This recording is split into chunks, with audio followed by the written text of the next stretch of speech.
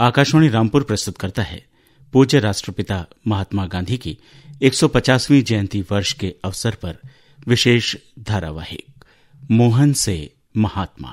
आज सुनिए इस धारावाहिक की पांचवी कड़ी। वैष्णव जन तो तेने कहिए जी पीड़ पराए जाने रे।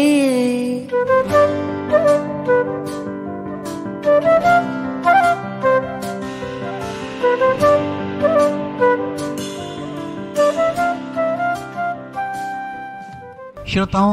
पिछली कड़ी में जैसा कि हमने बताया कि परिस्थितियों ने कुछ इस तरह से ताना बाना बुना कि गांधी जी का दक्षिण अफ्रीका जाने का संयोग बना। विलायत से आने के बाद गांधी जी लगभग दो वर्ष ही हिंदुस्तान में रुके। छह माह बंबई और डेढ़ वर्ष राजकोट। विलायत जाते समय पारिवारिक बिछोह में गांधी जी को जिन संबंधों ने सबसे ज़्यादा पीड़ा दी थी, वो था माँ का और अपने पुत्र का। किंतु अब तो माँ भी चल बसी हैं। पत्नी के साथ जो भी समीपता थी, उसका कारण वैचारिक आदर कम और विषय भोग अधिक था। इन दो वर्षों के दौरान भी गांधी जी को एक और पुत्र रत्न की प्राप्ति हुई थी। चूँकि केवल एक ही वर्ष का अनुबंध था अतः गांधी जी कहते हैं कि इस बार पुत्र आदि के विछोह के मुकाबले, विदेश यात्रा के आनंद और मेहनताने के रूप में होने वाली आय का आकर्षण थोड़ा सा अधिक था। अप्रैल अठारह में गांधी जी ने एक बार पुनः विदेश जाने के लिए हिंदुस्तान की धरती को छोड़ा। स्टीमर के द्वारा बंबई से नेटाल तक की यात्रा एक माह से ऊपर की थी। चूँकि मोजाम्बिक के गवर्नर जनरल भी उसी स्टीमर से जा रहे थे। अतः एजेंट के काफ़ी प्रयास के बाद भी जहाज़ में गांधी जी की सीट कंफर्म नहीं हो सकी। डेक पर यात्रा करके नेटाल तक पहुँचना गांधी जी को मंजूर न था। भले वकालत को लेकर आत्मविश्वास या साहस जवाब दे जाता हो, किंतु बैरिस्टर होने का विश्वास यदा कदा गांधी जी के अंदर उस योग्यता की गरिमा को लेकर आत्मसम्मान अवश्य जगा देता था। अपना परिचय देते हुए गांधी जी ने जब जहाज़ के कप्तान से बात की तो उसने अपने ही केबिन में उनकी व्यवस्था कर दी। एक दो दिन में ही कप्तान ने गांधी जी को लेकर यह धारणा बना ली कि ये व्यक्ति धार्मिक और सरल स्वभाव का है। जल्द ही कप्तान के साथ गांधी जी की दोस्ती हो गई। कप्तान गांधी जी को अपने जीवन के रोमांच के किस्से सुना सुनाकर बोर करता रहता था। कप्तान को शतरंज का भी शौक था। उसने आग्रह पूर्वक गांधी जी को शतरंज सिखाई और फिर उन्हीं के साथ खेलकर जीतता रहता और खुश होता रहता था।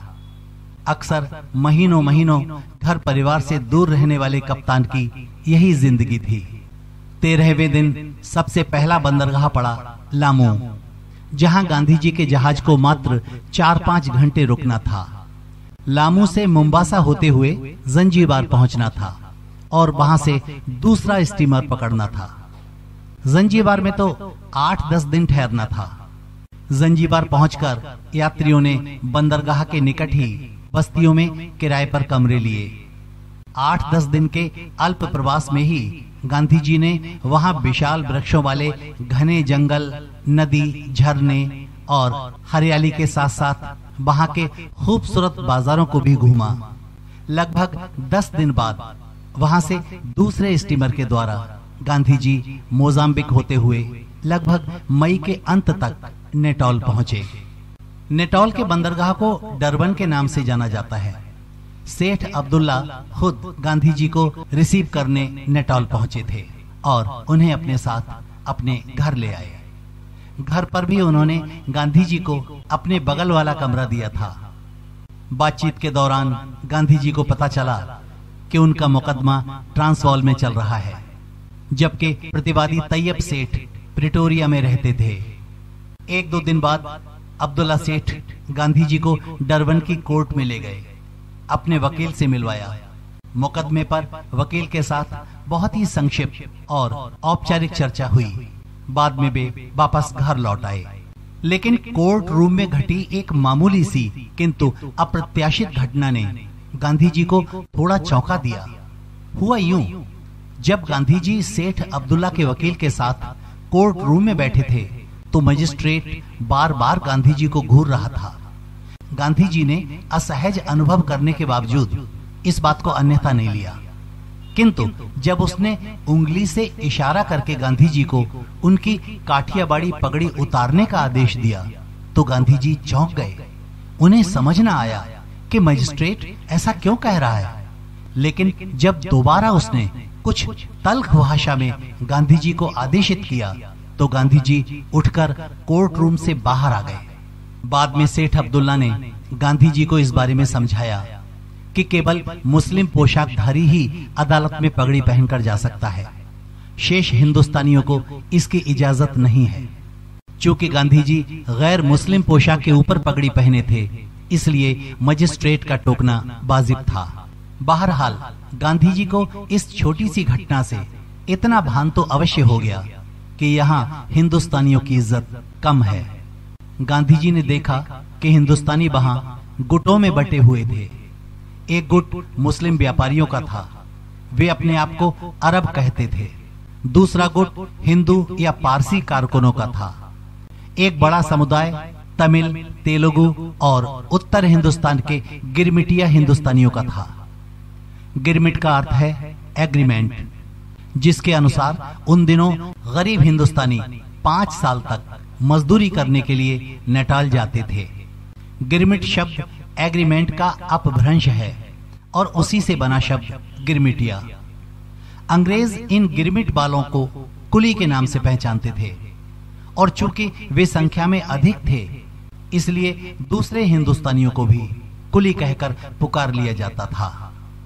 इस मुकदमे की तैयारी की खातिर फर्म के वकील का प्रिटोरिया से गांधी जी के लिए बुलावा आ जाता है।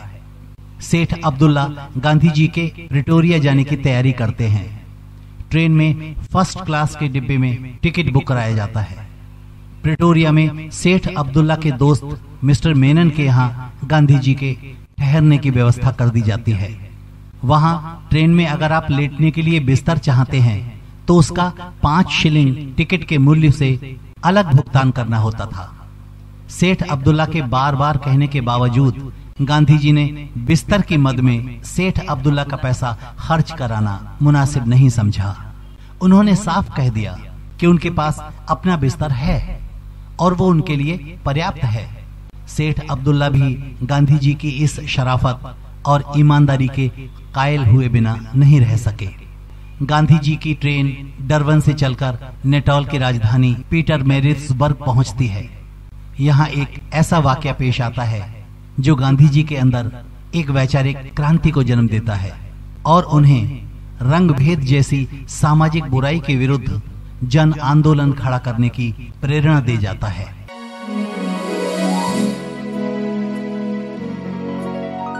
जैसा हमने आपको बताया कि सेठ अब्दुल्ला गांधी जी को ट्रेन में फ़र्स्ट क्लास के डिब्बे का टिकट लेकर भेजते हैं अतः गांधी जी उचित टिकट के साथ उचित डिब्बे में यात्रा कर रहे होते हैं।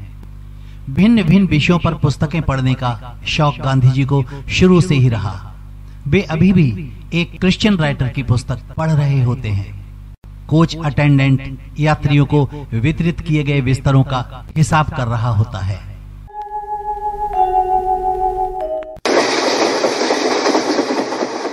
एक्सक्यूज मी सर आपने यहाँ अपने लिए बिस्तर बुक नहीं कराया? नहीं। मुझे इसकी ज़रूरत नहीं। अब लेकिन रात को खासी ठंड होती है यहाँ। कोई फ़िक्र नहीं। मेरे पास मेरा बिस्तर है वो रहा छोटा सा। माफ़ कीजिए सर फ़र्स्ट क्लास में कोई भी अपने लिए बिस्तर लेके नहीं आता। आप पहले व्यक्ति हैं। इसमें क्या बात है? जो चीज़ हमारे पास मौजूद है उसके लिए फिजूल पैसा क्यों खर्चना चाहिए? हुँ? बोलो। आप ठीक कहते हैं। भारतीय बाकी लोगों से ज़्यादा बुद्धिमान होते हैं। समझे? पीटर मेरिट्सबर्ग स्टेशन पर एक अंग्रेज़ यात्री गांधी जी के डिब्बे में घुसता है और उनको अजीब नज़रों से घूरता है।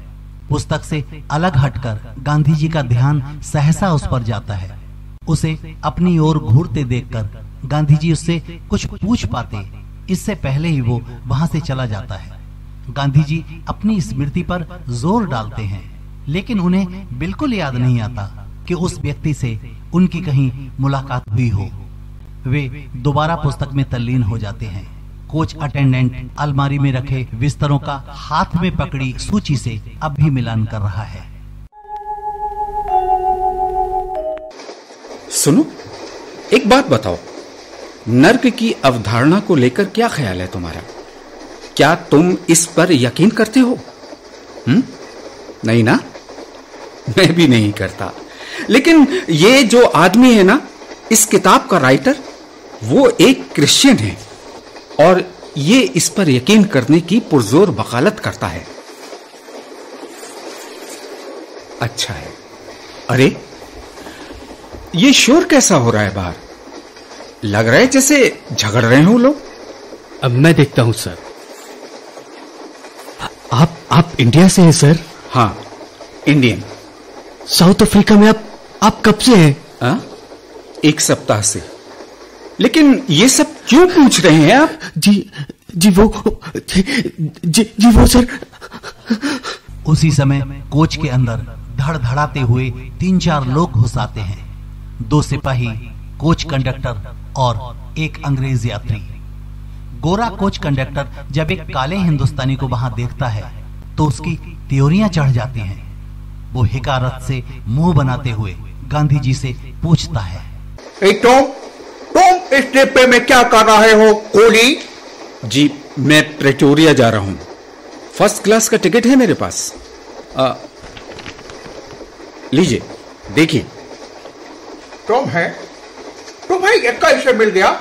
जी डाक से मंगाया है मैंने।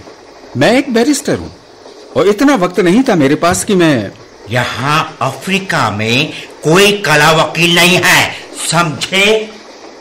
तुम यहाँ से उठो और सबसे पीछे वाले डिब्बे में जाओ थर्ड क्लास में। चलिए सर मैं आपका सामान लिए चलता हूँ। नहीं नहीं नहीं रुकिए। देखिए देखिए ये कार्ड है मेरा। मोहन दास के गांधी अटॉर्नी एट लॉ एक हिंदुस्तानी कंपनी के मुकदमे के सिलसिले में प्रिटोरिया जाना हो रहा है मेरा। ए सुना नहीं तुमने यहाँ कोई काला वकील नहीं है। साउथ अफ्रीका है ये देखिए मैंने लंदन से वकालत पास की है।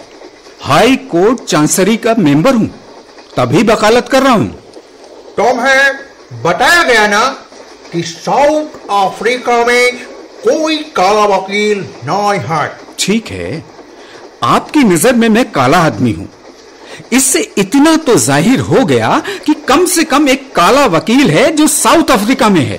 बद जबान हफ्सी जबान रहता है हमसे।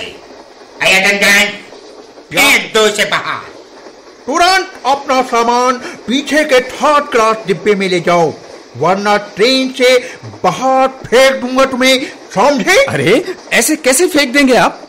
प्रॉपर टिकट है मेरे पास। ऐसे नहीं मानेगा ये आदमी। उठा के बाहर फेंक दो इसे अब भी इससे वक्त ठीक है आप जो चाहे कीजिए। लेकिन यहाँ से हरगिज नहीं हिलूँगा मैं। सिक्योरिटी फेंक इसका सामान बाहर। और इसे भी। अरे। चलिए चलिए। अरे ये क्या कर रहे हैं आप? देखिए देखिए मुझे धक्का मत दीजिए।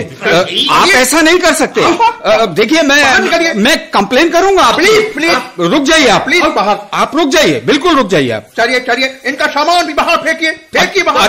अरे क्या क्या कर रहे हैं आप लोग? चलिए आप बाहर निकलिए। मेरा सामान क्यों फेंक रहे हैं आप लोग? बाहर निकलिए, देखिए देखिए आप लोग ऐसा नहीं कर सकते। अरे छोड़िए मुझे। अरे मैं कहता हूँ मुझे छोड़िए। मैं देखिए मैं आपकी कंप्लेन करूँगा। चलिए चलिए चलिए छोड़िए मुझे। आओ।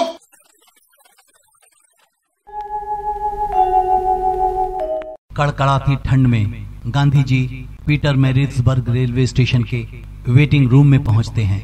कमरे में दिया तक नहीं था लेकिन बाहर से ज़्यादा अंधेरा तो गांधी जी के मन में था। सारी रात वो यही सोचते रहे कि क्या उन्हें झुक जाना चाहिए। वापस भारत लौट जाना चाहिए या फिर भारतीयों पर हो रहे इस अन्याय के खिलाफ संघर्ष करना चाहिए। मुकदमा अधूरा छोड़कर भागना तो कायरता होगी। वे सोच रहे थे कि उन्हें जो ये कष्ट और अपमान सहना पड़ रहा है, ये तो बस एक बानगी भर है। यहाँ फैले हुए रोग की केवल रोग ही नहीं, महारोग है ये, रंग द्वेष। एक इंसान को इंसान से कमतर आंकना अन्याय है उसके साथ। और अगर उनमें इस अन्याय से लड़ने की शक्ति है तो उन्हें इस शक्ति का उपयोग करना ही चाहिए। गांधी जी तब न महात्मा थे और न ही राष्ट्रपिता। वो तब तो केवल एक बैरिस्टर थे, लेकिन ट्रेन में हुई अन्यायकारी घटना ने उन्हें महात्मा बनने के रास्ते पर आगे बढ़ा दिया। 7 जून अठारह सौ तिरानवे की रात, वो रात थी जब दक्षिण अफ्रीका के पीटर मैरिज वर्क के उस प्रतीक्षालय में गांधी जी के सत्याग्रह की नींव रखी जा चुकी थी। सत्याग्रह का अर्थ होता है अन्याय के खिलाफ शांतिपूर्वक लड़ाई लड़ना। गांधी जी को शायद तब नहीं पता था कि उनका यही विचार कभी अंग्रेज़ों से भारत की मुक्ति का मार्ग भी खोलेगा।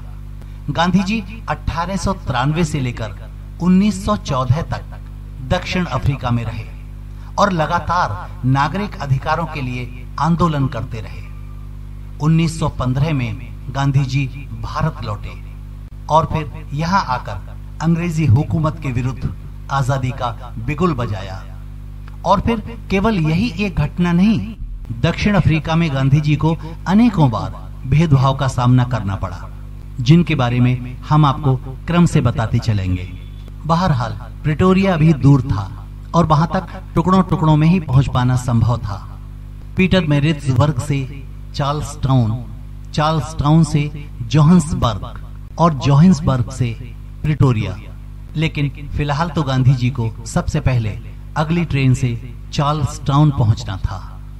गांधी जी ने बैरिस्टर की हैसियत से फ़र्स्ट क्लास के टिकट के लिए रेलवे के महाप्रबंधक को एक टेलीग्राम भेजा।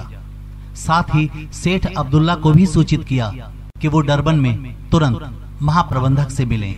हालाँकि महाप्रबंधक ने गांधी जी के प्रति रेलवे अधिकारियों के आचरण को सही ठहराया, लेकिन साथ ही उन्हें आश्वस्त भी कर दिया कि उन्होंने स्टेशन मास्टर को ये निर्देश दे दिया है कि गांधी जी को अपने गंतव्य तक बिना किसी असुविधा के पहुँचने दिया जाए।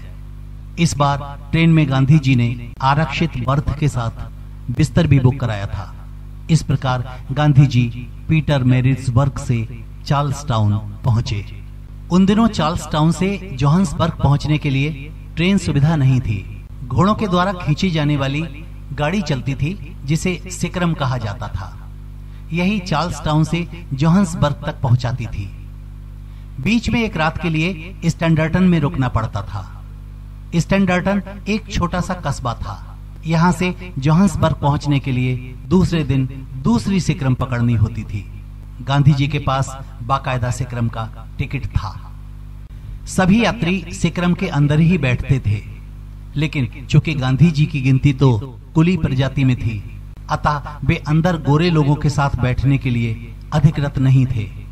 इसलिए सिक्रम वाला भी ऐसा ही चाहता था। सिक्रम के बाहर दाएँ बाएँ दो पटले थे।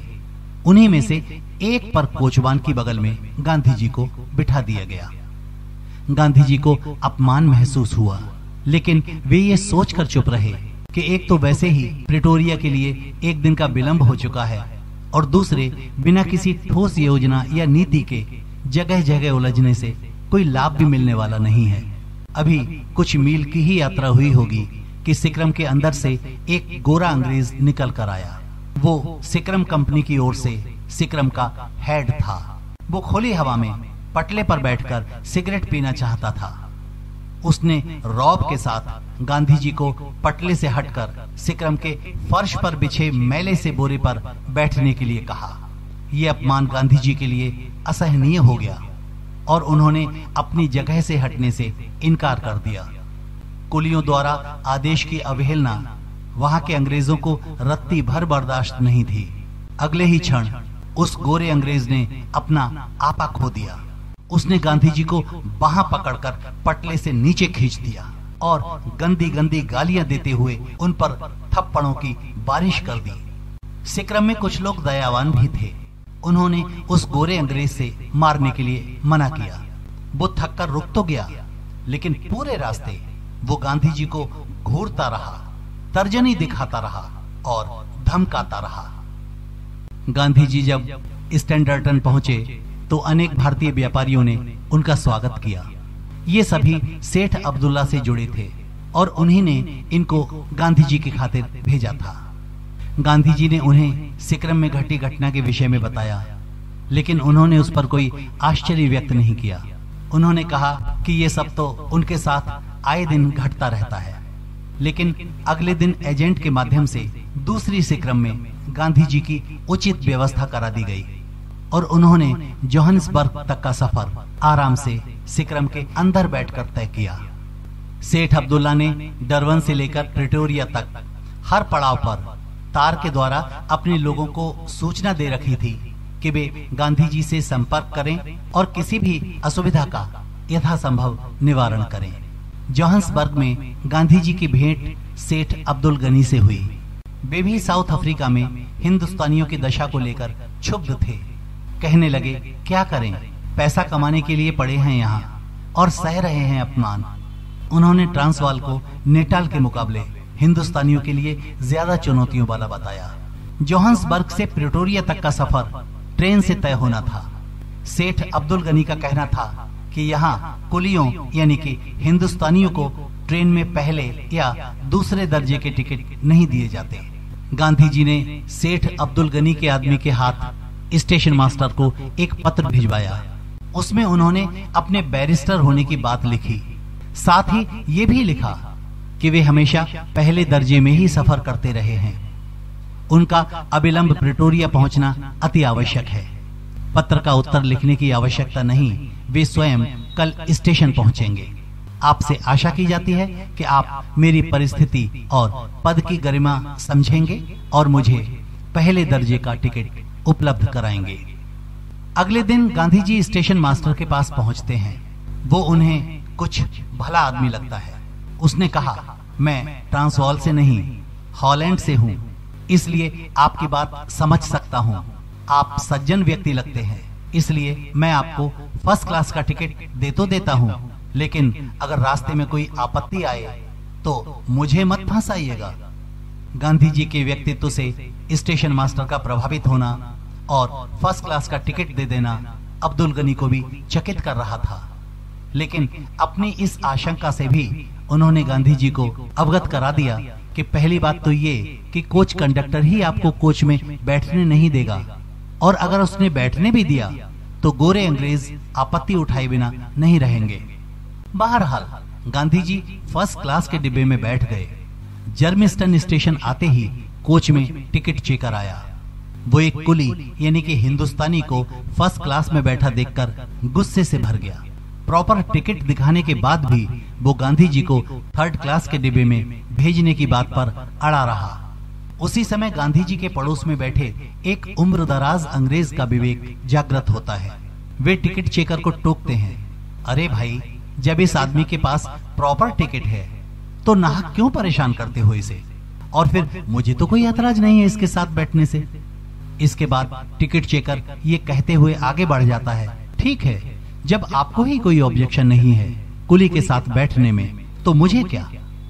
टिकट चेकर के चले जाने के बाद वो भद्र अंग्रेज़ गांधी जी को आश्वस्त भी करता है।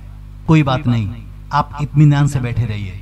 गांधी जी को आश्चर्य से अधिक इस बात की खुशी और संतुष्टि होती है कि नफरतों की इस भीड़ में कुछ लोग ऐसे भी हैं जिनके लिए इंसानियत, इंसान के रंग से कहीं ऊपर है।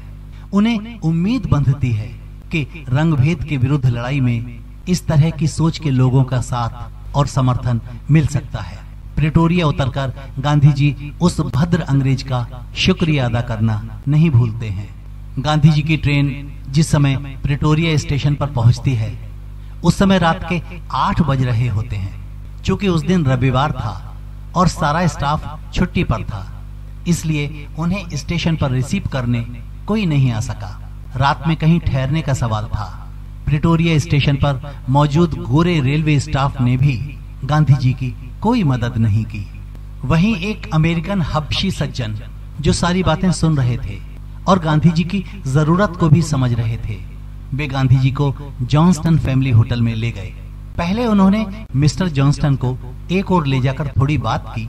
मिस्टर जॉन्स्टन ने गांधी जी को एक रात के लिए टिकाना कबूल कर लिया। मिस्टर जॉन्सटन ने गांधी जी को स्पष्ट बोल दिया कि उनके रेस्टोरेंट में, चूँकि गोरे अंग्रेज़ ही भोजन करते हैं, अतः वो रेस्टोरेंट में ना आए। उनका खाना उनके रूम में ही भिजवा दिया जाएगा। हालाँकि गांधी जी को इसमें क्या आपत्ति हो सकती थी? किंतु जिस तर्क के साथ ये सुविधा दी जा रही थी, वो अवश्य अपमानजनक था। किंतु गांधी जी के पास उसे स्वीकार लेने के अतिरिक्त विकल्प भी क्या था? लेकिन कुछ ही समय बाद मिस्टर जॉन्स्टन गांधी जी को बताते हैं कि उन्होंने गांधी जी के पद का परिचय देते हुए होटल में ठहरे मेहमानों से उनके लिए रेस्टोरेंट में सबके साथ बैठकर भोजन कर सकने की स्वीकृति प्राप्त कर ली है। अब वे रेस्टोरेंट में बैठकर डिनर कर सकते हैं। रंग देश की तलख धूप के बीच उदारता की ठंडी हवा का एक हल्का सा झोंका भी गांधी जी को बहुत हौसला देता था। गांधी जी की प्रिटोरिया तक की यात्रा पूरी हो चुकी थी। अगले दिन उन्हें सेठ अब्दुल्ला के वकील ए डब्ल्यू बेकर से मिलकर मुकदमे की तैयारी शुरू करनी थी। श्रोताओं, ये तो हम सब अच्छी तरह से जानते हैं कि सत्याग्रह की गांधी जी की सबसे पहली कर्मभूमि दक्षिण अफ्रीका थी। हम अपनी अगली कड़ी में अवश्य ही इस विषय पर विस्तार से चर्चा करेंगे। आज के लिए बस इतना ही। इजाज़त दीजिए। नमस्कार।